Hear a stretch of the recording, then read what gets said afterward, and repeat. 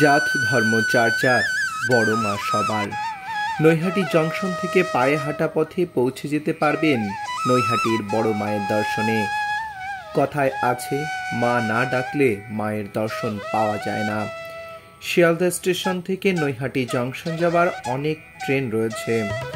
আমরা স্ক্রিনে আপনাদের সময়সূচি দিয়ে দিচ্ছি।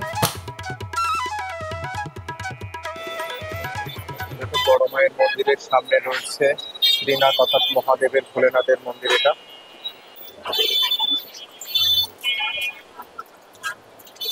মন্দিরটা মেইন রাস্তার উপর অবস্থিত, তার জন্য কিন্তু প্রচুর ভিড় হয়।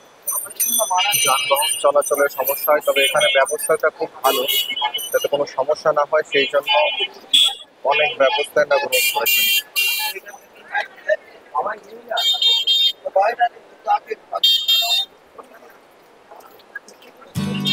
বন্ধুরা, প্রতিনিয়ত নৈহাটির বড় মায়ের দর্শনে আসে হাজার হাজার মানুষ।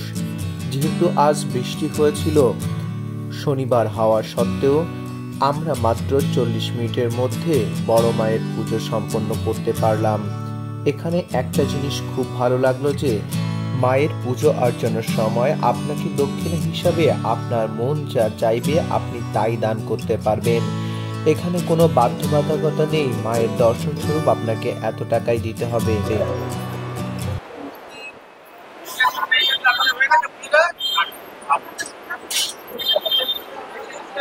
বন্ধুরা, সম্পূর্ণ ব্লগ করতে হলে এখানে পারমিশন নিতে হয়। যতটা পেরেছি চেষ্টা করলাম তোমাদের মায়ের পুজো দেখানোর। আমরা এখন বাইরে বেরিয়ে চলে এসেছি। আমাদের পুজো সম্পন্ন অনেকটা।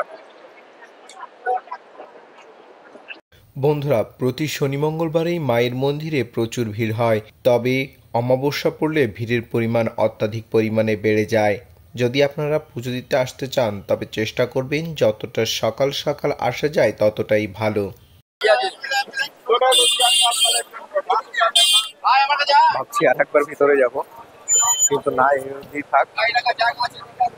চলো, টাটা।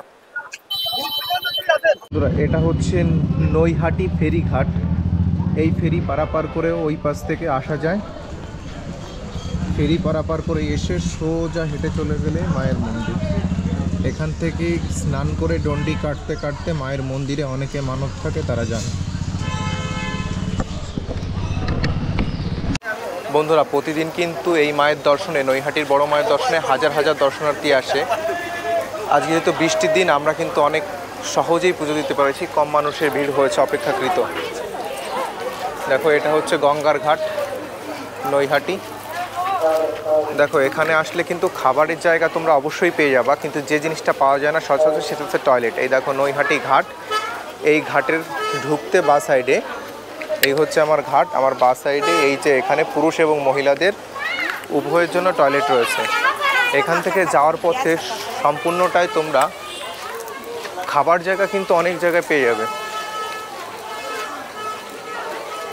সামনে গেলেই খাবারের অনেক জায়গা, কিন্তু যে জিনিসটা পাওয়া যায় না সেটা হচ্ছে টয়লেট।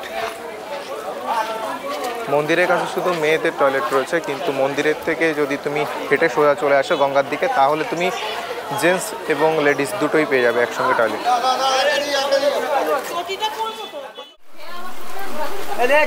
দে।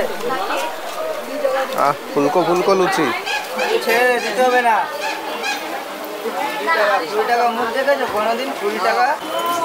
বন্ধুরা এখন আমরা একটু খাওয়া দাওয়ার পর্বটা সেরে নিচ্ছি। আমরা একটু কচু খেয়ে নিচ্ছি। বরুণের হিঙের কচুরি। মন্দির থেকে অল্প একটু হেঁটে এসেই এই দোকানটা।